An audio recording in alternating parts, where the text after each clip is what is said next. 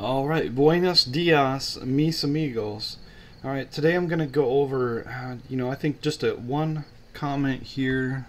Um, I'll go over both those. Why not? And then I'm going to go. I'm going to touch on this here. I'm going to play a few seconds of that, and then I'll probably end it on this video here, uh, where this gentleman he he's talking about Revelation 20. So let's get into the comments first of all. And of course, I always appreciate the comments and the questions, um, you know, because this is how we um, grow, right? This is how we become sharper. And I want to encourage people to challenge me and uh, challenge others. And by doing so, um, this is a great way, an opportunity to learn and and to teach. You know, whenever you're teaching somebody, you're also learning, and whenever you're learning, you're teaching, and and it, it works together to help us grow. So, first of all, Wedden 1051919 says, "Are Christians still punished after the resurrection?" Is that what Romans 14 is saying? Romans 14 verse 12. So then every one of us shall give an account, or I'm sorry, so then every one of us shall give account to himself, of himself to God. Boy, I butchered that terrible, I? So let's go to Romans chapter 14, verse 12. Alright, so in the context here, so then every one of us shall give account of himself to God. There we go. Okay. Now, in the context of this, this is at the last day, on Judgment Day, the great day of the Lord, which happens at the end of the world. Alright? So, to make it real simple, if you believe in the Lord Jesus Christ and you are born of the Spirit of God, then judgment has already been given to you right now. And um, so on the day of the Lord, we will be transformed into our glorified bodies. We will be changed in a moment. We will be changed in the twinkling of an eye. All right, and we will be lifted up to meet the Lord in the air. Now, that's because Jesus is in you that are born of God. So you are pure in the eyes of God because Jesus is pure. His purity is so pure that he makes you pure despite all of your imperfections. That's how pure our Lord Jesus Christ is. Now, if you're not born of God, you're in big trouble. Big, big trouble. And so, essentially, this is real simple. This is not uh, rocket science. It's you, everybody will give an account for themselves. If they're born of God, they are transformed. If they're not born of God, they are destroyed. They are thrown into the lake of fire. They die the second death. All right, it's really that simple, and that's really what is taught all throughout the Bible. And you know, obviously, you know, I like to uh, let's use a one. We'll go to one place here in the Bible, in Daniel chapter 12, verse 2. Many of them that sleep in the dust of the earth shall awake, some to everlasting life, and some to shame and everlasting contempt. It's that simple. One way or the other. Alright. Now, okay, where are we at here? So, that's all that means. Okay, so the question was Will we be punished after the resurrection? No. No.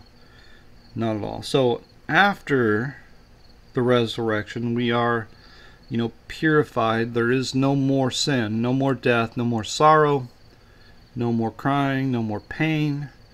All those things will be done away with. So there would be no reason for God to punish us after the resurrection. Of course, on that day, the unjust will be punished, but we, the just, will not be punished at all and never afterwards. All right, so I hope that clears it up a little bit. Uh, um, we can always continue that conversation for sure. I have a real problem with the Message Bible and the Good News Bible. There are some very good translations that are not in English. I'm sorry, Elizabeth Elizabethan English. Um,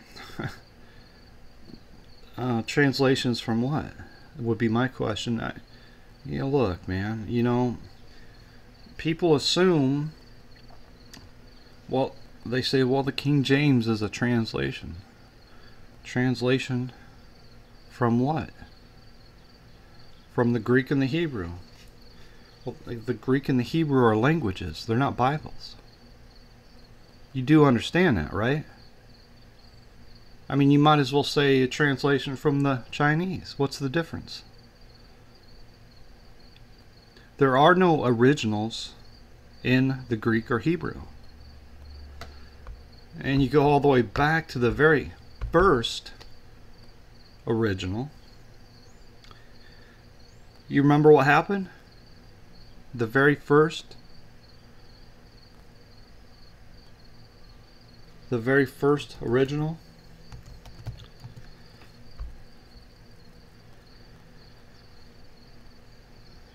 the very first original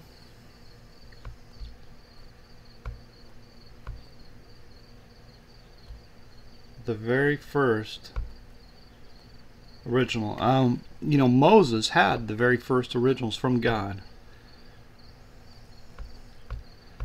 Let me let me find a verse for you. Okay, and it came to pass as soon he, as he came down. I'm sorry, this is talking about Moses. And it came to pass as soon as he came nigh unto the camp. This is after he received the originals from God Himself. Think about that, man. Moses received the Word of God directly from God. Think about that. And it came to pass as soon as he came nigh unto the camp that he saw the calf and the dancing and the boogieing and the woogieing, and Moses' anger waxed hot. And he cast the tables out of his hands and brake them beneath the mount. He smashed them. That's the originals. That's what Moses thought of the originals. It's interesting, man. I'm telling you, it's very, very interesting.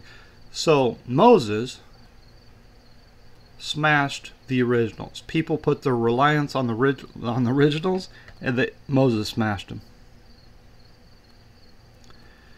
Whereas there are people like me who believe that the Word of God comes directly from God. You see the two sides in this one verse? On one side, you have Moses received the Word of God directly from God. The Bible that I hold in my hand, it's not from men, it's directly from God. I guarantee that. And I've been preaching that day after day. It you know the key to understanding is faith. It's always been about faith. You if you ought to believe the Bible you hold in your hands is from God because it is. It's directly from God. So why why wouldn't you believe that? If you believe if you don't believe that, then you don't believe the Bible. Not fully. Okay, and then on the flip side, you have people putting their faith in the originals which Moses smashed. There are no originals. There are no originals. And now think about think about this. In Genesis chapter 2, Adam says, This is now bone of my bones and flesh of my flesh. She shall be called woman because she was taken out of man. Now, what language was that spoken in? Nope, it wasn't spoken in Hebrew. Anybody that tells you Adam spoke Hebrew is a liar, an ignorant, ignorant liar. you know, sometimes I wonder, do people even care about the truth anymore? In Genesis chapter 11, God saw that these guys were, this is after the flood, okay? After the flood, the population started to boom again. And God saw that they were building a tower and that nothing would stop them from doing what they imagined to do. And so God said, Let us go down and confound their language, that they may not understand one another's speech. All right, so when this happened, when God confounded the language, nobody understood the original language. Nobody. So that means when Adam said, This is now bone of my bones and flesh of my flesh, she shall be called woman because she was taken out of man. When Adam said those words, they were not Hebrew. They were the original language which nobody understood the moment God confounded the language. So, that means this is a translation. Whether it be Hebrew, whether it be Greek, whether it be English, whether it be Chinese, it's a translation.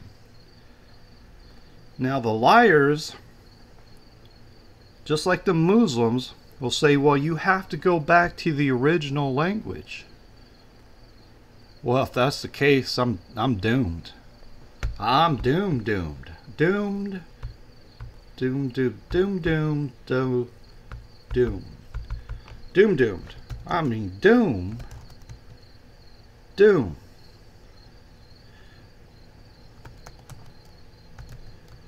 I'm doomed, and you're doomed. We're all doomed. In Deuteronomy 8, verses 3, it says, And he humbled thee, and suffered thee to hunger, and fed thee with manna, which thou knowest not, neither did thy fathers know, that he might make thee know that man does not live by bread only, but by every word that proceeds out of the mouth of the Lord does man live. And he answered and said, It is written, Man shall not live by bread alone, but by every word that proceeds out of the mouth of God. And Jesus answered him, saying, It is written that man shall not live by bread alone, but by every word of God. So, if you have to go back to the original language to know what God really says, I'm doomed. I barely know English, but it's the only language I know. Now, forget about Hebrew, Greek, Chinese. Forget about all those. I ain't got a chance, man. You realize I took German in high school and I got 9% for the semester. 9% out of uh, possible 100%. I got 9%. I think that's the school record even 30 some years later. Nobody's ever scored that low. In the history of German, nobody's ever scored that low, and I got the record. I didn't stand a chance, and my and my last name is German. And you want me to learn Hebrew? To know what God says? I mean, God says man should not live by bread alone, but but by every word that proceeds out of the mouth of God. That's what God says. and I have to go to a foreign language? Man, I ain't that smart.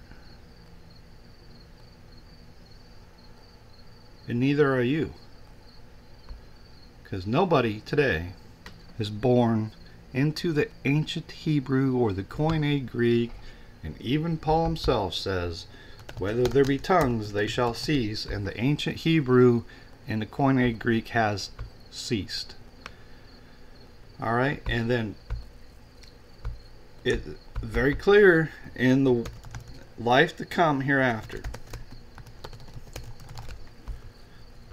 All the languages that are spoken today, including ancient Hebrew and Koine Greek, they're going to be done away with.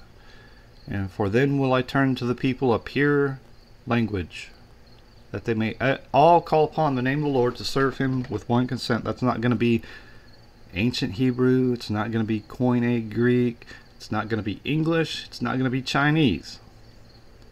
It's going to be a brand new language, a pure language. Okay, so yeah, it's one of my favorite topics to talk about, and I can go on and on. So if you have any follow-ups, you want to just for the sake of of uh, having a little bit of fun here, Edge 2 Sword 186, just go ahead and say whatever translation you think is the perfect pure word of God, and let's examine it.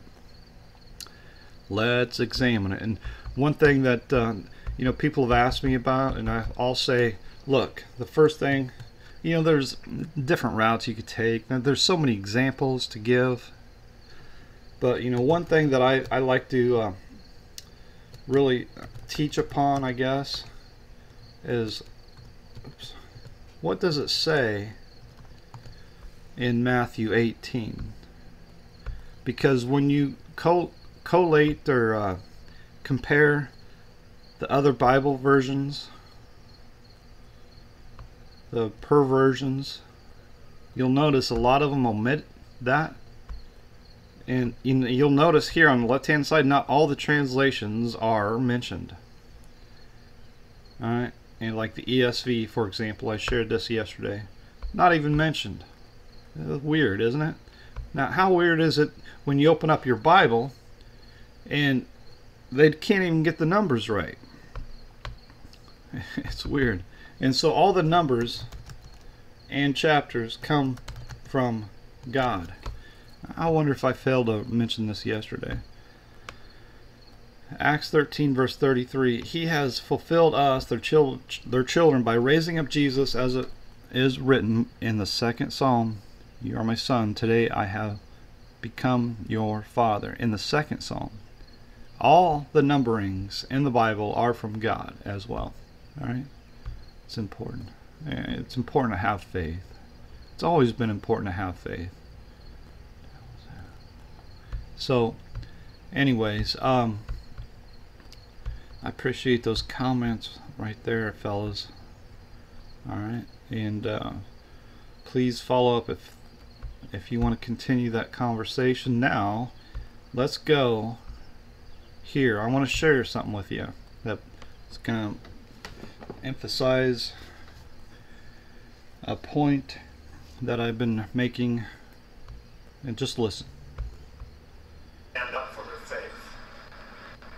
So I think in that time in extreme persecution, especially towards the end, because I think we're living in that now, and I think we're even standing up for that now in our faith, and we're not worshiping the beast. And when those things happen, but especially towards the end, which I do believe is going to get worse, um, and there will be a future Antichrist. And I think things could get really ugly and will, and even in America, that I think it'll be obvious.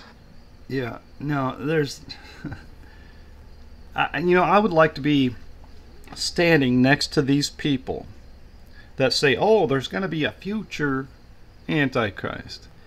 I want to be standing next to these people when Jesus comes and listen to their expl- explanation when they're talking to Jesus and, and telling Jesus, "You can't come back yet because the future because the future Antichrist isn't here yet." Yeah, I would love to hear that conversation. I really would. Now, what are you guys looking for? Really, all you futurists.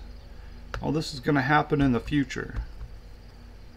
Oh, the Antichrist is he's going to happen in the future. He's he's not here today. Boy, I mean, that's amazing, really. It's amazing because he's got you fooled. And there's nothing I can say or do to break you out of that. You got to figure it out on your own. Second Thessalonians 2 verse 3 Let no man deceive you by any means. Uh, I it's like that right there goes in one ear and straight out the other for so many people. It's incredible. You go to Matthew 24. Jesus is asked, What shall be the sign of thy coming? Or what will be the sign of thy coming and of the end of the world? And the very first thing Jesus says is, Take heed that no man deceive you. For many shall come in my name, saying that I, Jesus, am Christ, and shall deceive many. 2 Thessalonians chapter 2 verse 3. Let no man deceive you by any means. And look, think think about this, man. Come on. Evil men and seducers shall, shall wax worse and worse, deceiving and being deceived. You don't think deception is a big part of the end time? And here you are standing in front of God and everybody and saying, "Oh, there is no antichrist." That's that's going to happen in the future, boys. Just ignore the Roman Catholic Church. Ignore the book of Daniel. Ignore the whole Bible. Ignore the Lord Jesus Christ and just believe in me. I mean, really, why not? Just be honest and say that's what you believe. You know, what's wrong with honesty? Really? I mean, if you put the truth above everything, then just be honest and learn from your mistakes, right? Why not? What do you got to lose? Pride? Oh boy. You can't lose pride, can you? Be made a fool. Well, sometimes it's good to be a fool. That's how you learn. If you never be, if you're never a fool in life, you'll never learn nothing. Now, here we have an interesting verse in um, this chapter, verse 4 Who opposes and exalts himself above all that is called God or that is worshipped, so that he, as God, sitteth in the temple of God, showing himself that he is God. Now we read a parallel to that in Daniel when he's speaking of the fourth beast. And you'll have to rem- you'll have to uh, Paul, uh, I'm sorry you'll have to um, forgive me. You'll have to I don't remember exactly where that's at. Daniel 11 okay. Daniel 11 neither shall he regard the God of his fathers here let's do it this way for he shall magnify himself above God Neither shall he regard the God of his father, nor the desire of women, nor regard any God, for he shall magnify himself above God, who opposes and exalts himself above all that is called God, or that is worshipped, so that he as God sitteth in the temple of God, showing himself that he is God. And what does the word Pope mean? Holy Father, God Almighty he just flat out comes out and says that he is God Almighty and people oh that's not that's not the Antichrist. He's a good guy. The Pope the Pope's a good guy. He's uh, Jesus Christ on earth, right? Just a good good old boy. Just a good old boy. Right? And just to, to hell with Jesus. You know, he says, call no man father. Yeah, just ignore Jesus. And just Let's love the Pope, everybody. Come on. Matthew 23, verse 9 And call no man your father upon the earth, for one is your Father which is in heaven. What do they call the Pope? Holy Father. What do they call all the Catholic priests? Father. Father Saducci. Or Sarducci, or whatever that guy's name is. Uh, what was that on SNL? Am I getting that right? Father Sarducci? you know the the cigarette smoking Catholic priest. I mean that's about as the most accurate version of a Catholic priest you'll ever find is that guy that was on SNL. All right, so the point is here that this this is talking about what's happening right now.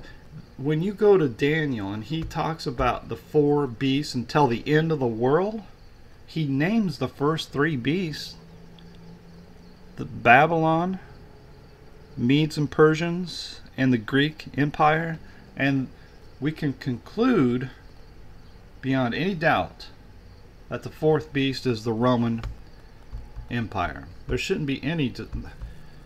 you can't dispute it. You can ignore it, and that's what people do, but you can't dispute it. An absolute fact.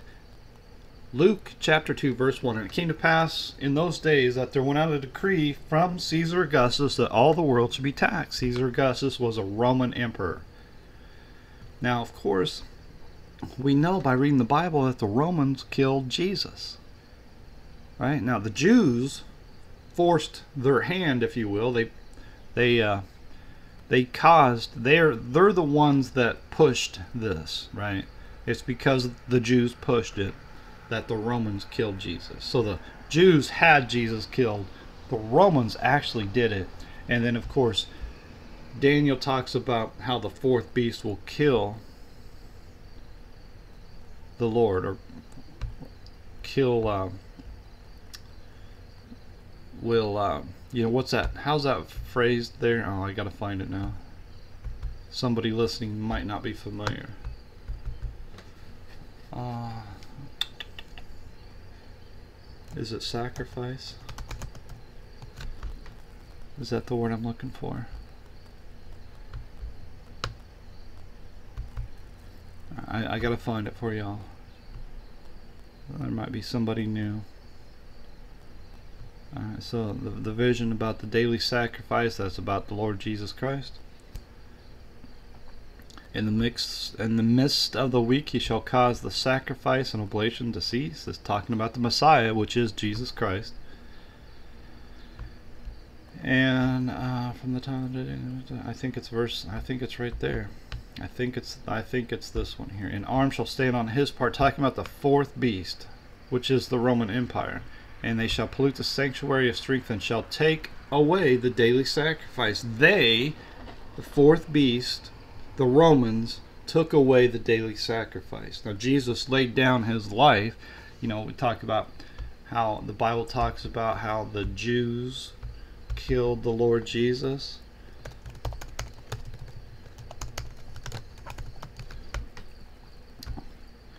Who both killed the Lord Jesus and their own prophets and have persecuted us and are contrary to all men. Right there talking about the Jews. All right. Maybe I highlight that there just so somebody can see it.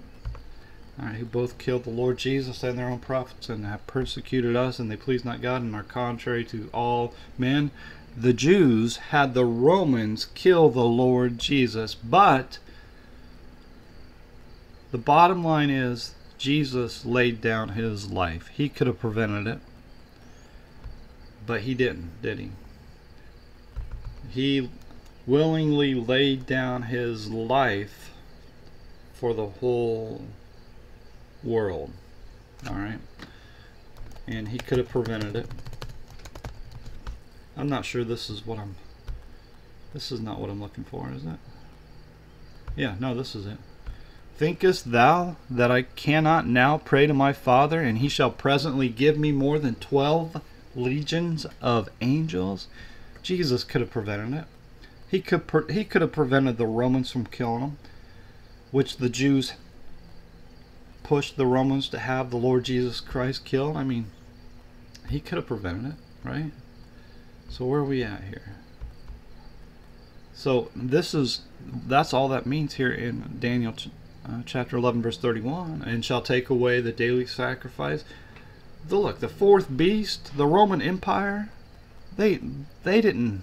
There's never been a person who's laid down their life and and uh, became a sacrifice for the sins of the whole world. It's only Jesus.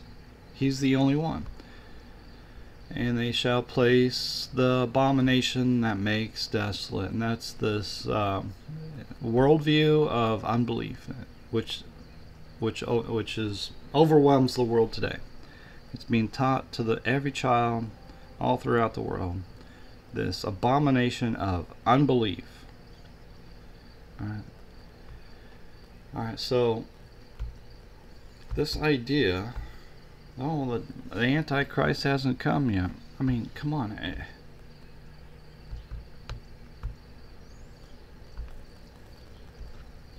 You're blind, man. You're you're essentially taking the side of the Pope, who is the Antichrist. Now think about this in Revelation 17. The beast that was and is not and yet is. The beast that was and is not and yet is. The Roman Empire that was and is not and yet is. The Roman Empire that transformed from a physical empire into a spiritual empire. And what is a great whore? Well, a whore or prostitute is a woman pretending to be the wife, performing the duties of a wife, but she is not the wife.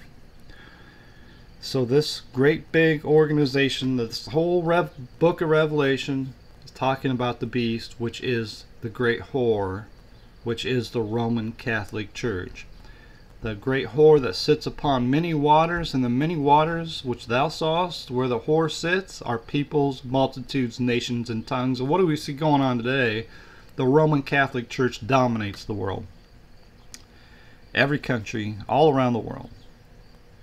It's incredible. It's amazing. And not just that they're so popular, but they're so wealthy. And I saw the woman drunken with the blood of the saints and with the blood of the martyrs of Jesus. And when I saw her, I wondered with great admiration. It's incredible what the Roman Catholic Church has accomplished. It's amazing, really. You know, 50 years ago, maybe I better go back 60, 70 years ago, you couldn't run for president of the United States if you were Catholic. This country used to be very guarded against Catholics. Now, you can't. Nobody knows the difference between a Catholic and a Christian, and they're polar opposites. It's incredible how this whole world has let its guard down. And you got these guys that have no understanding whatsoever. Oh, the Antichrist, he hasn't come yet. You just bow down and you know, worship uh, the Pope and worship the, you know, the Catholic uh, priest and and just, you know, that. I mean, come on, man. You can't see it, man. You can't see it. And you do know, don't you, that the church was not built on Peter. Oops. You ought to know that. That should be pretty obvious, no? What is the church, the true church of God, built on?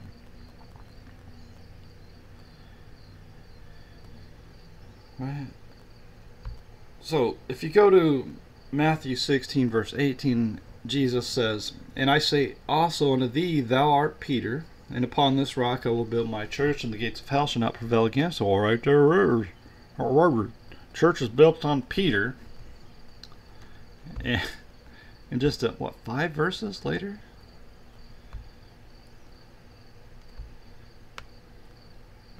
Let's do it this way. Upon this rock, and then if you think the church is built on Peter, you're in the wrong church.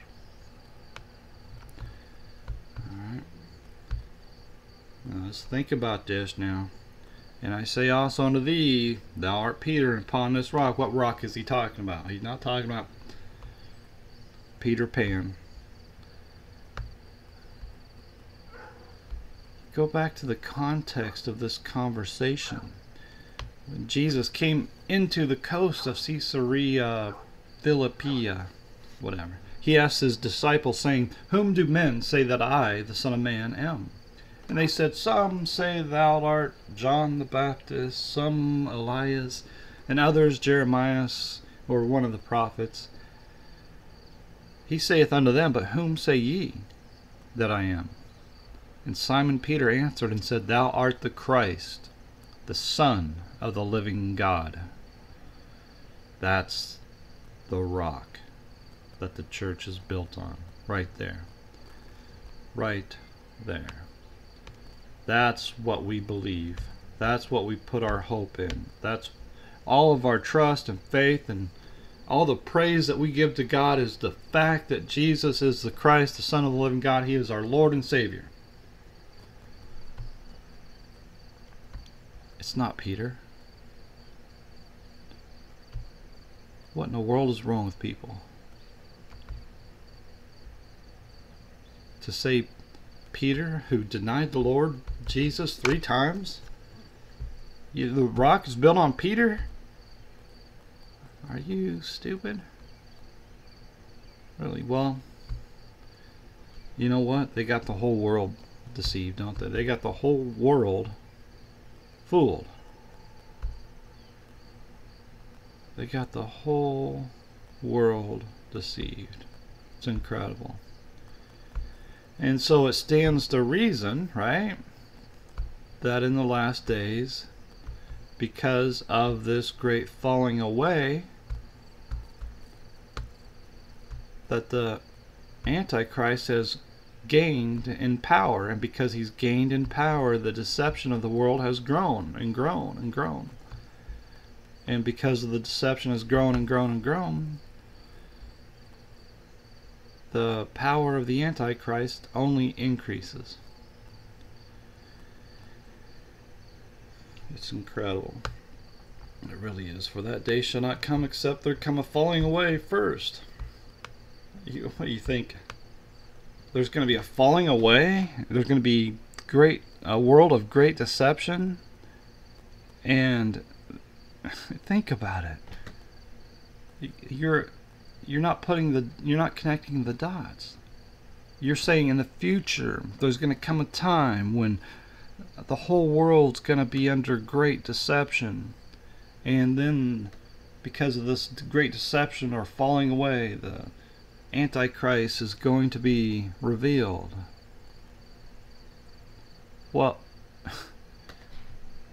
you think well, there's coming a time when Dan Rather's going to come on TV and do an exclusive one-on-one interview with the Antichrist and say, "Hey, look, everybody, the Antichrist. Let's ask him a few questions."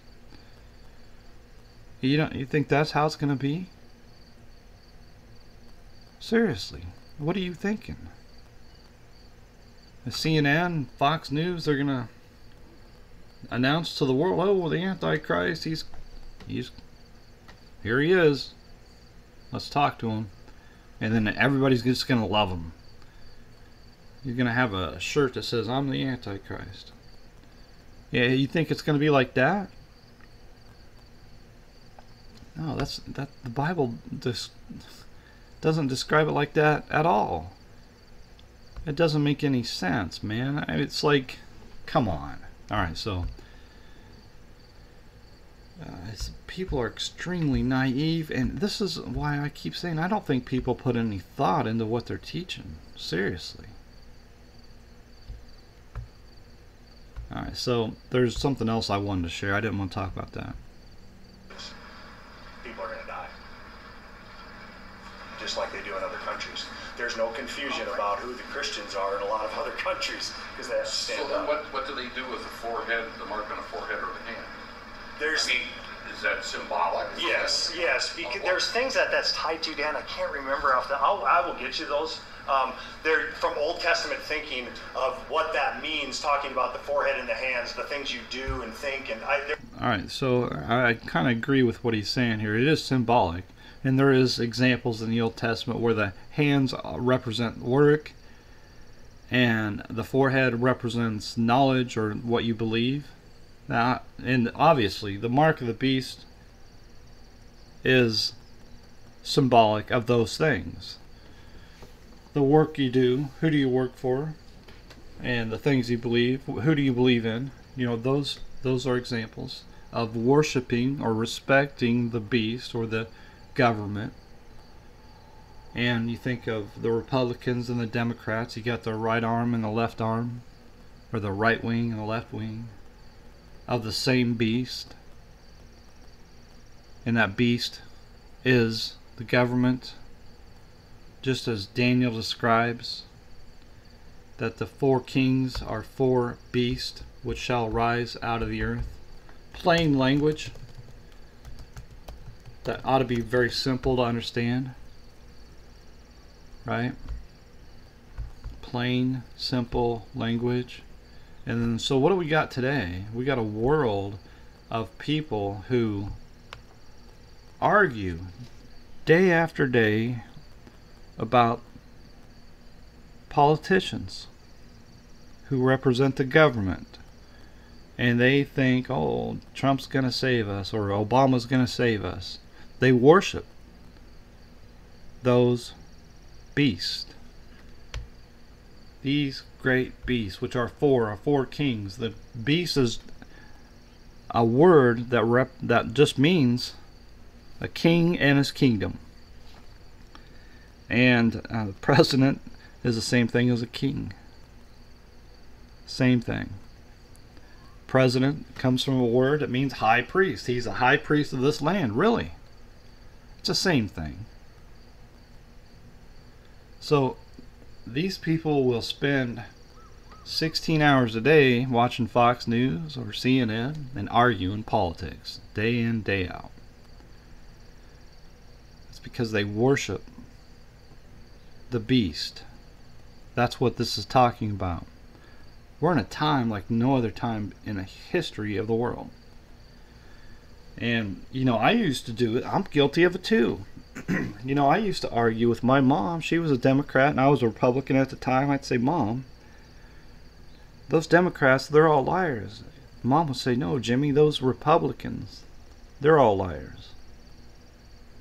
It turns out we were both right. Because they're all liars. And they're all part of the one, of the same beast. They're all working together against us and against God's people. And the evidence of the Bible is overwhelming. It's incredible, really, how all the answers are right here in the Bible. The kings of the earth set themselves, and the rulers take counsel together against the Lord and against his anointed. We are the anointed of God. So you, hear all these people arguing politics, you know, talking about racial and in, you know racial insensitivity or whatever. You know, that's the one that really burns my butt. If you're really against racism and you're for equality here in the United States, then if you're really honest about that, that you're sincere, then why aren't you outraged about Native Americans being segregated, set apart from the rest of society. Oh well, they get a bunch of money. What? Well, you're you're all outraged about, uh, you know, the black folk 200 years ago, who were given jobs and a place to live. What's the difference? You don't think there's poverty in the Native American community? there's not only poverty, there's crime that goes un you know how do I say that? It goes unpunished. Crime that goes unpunished against Native Americans. Now, what's the difference, man? You're outraged about one, but not the other. Why? Well, it's obvious, isn't it? Because the TV is telling you what to be outraged about. The TVs are playing with your emotions and telling you and you're listening because you worship the beast. Whatever the beast says, whatever that television says, that's what you do. Uh, this world is worse than what people even can fathom. I really believe that. So I, the, you know, I didn't even get to the point this guy was going to talk about, and he's going to say it here in a second. He's going to say, "Oh well," and he said it before this as well. I'm going to spare you all. he's saying, well, you got to look to what historians teach, and that's you know whatever the historians taught, that's what that's what you got to believe. And that's the problem with the world today. Nobody's believing what the Bible actually says, which is the Word of God. Instead, they're believing what other men say. They're putting their trust in what other men say rather than putting their trust in the Bible that they hold in their hands. I, there's there's different um, Wasn't it part of the thought Jewish process. laws and things that they had Well, to do? yeah, because you actually put you strap things Right. and verses on your forehead and your hands, and so there there's different things that are tied to that are pretty obvious. That I think, like like I said, look into even what MacArthur says on that. I I, I, I I, I, I, I look what MacArthur says about that. I, I, I, I, I. What about this? I got an idea. Can I raise my hand? I got an idea. How about considering what the Bible says? Wow. Huh? I mean, wow. How about reading what the Bible says and believing what the Bible says? Because the Bible is from God, directly from God. It's not from man, it's from God. There are numerous Bible verses to support that.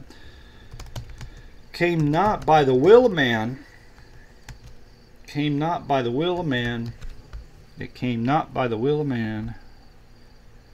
For the prophecy came not in old time by the will of man, but holy men of God spake as they were moved by the Holy Ghost. The Bible is from God. You believe God can resurrect you from the dead, but God can't speak to you in your own language? God can't give you a book that you can believe in? Even though it directly says, Seek ye out of the book of the Lord and read? Man cannot live by bread alone, but by every word that proceeds out of the mouth of God does man live? Boy, oh boy, what kind of God do you worship? Really? Don't you have any faith in the Word of God at all? Do you need man to tell you what God says? That's a that's a problem. All right, so I was gonna get into this guy here, and I don't know what he says, but maybe we'll do that some other time. I, I want to try to keep these videos down to about 15 minutes. I'm afraid I went over again today. Doggone it. Anyways, you have any questions, comments, anything like that? You think I'm stupid, ugly, and all that sort of thing? Please share that as well.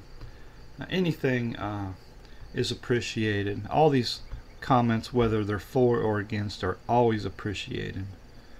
Okay. And uh, above all, you know, uh, just enjoy this day. You know, there are too many miserable people in the world, and um, it's okay to to uh, you know have these discussions and and that sort of thing, and these back and forth dialogues. That's okay, but do it with joy and do it with love for one another. All right. Okay. Anyways,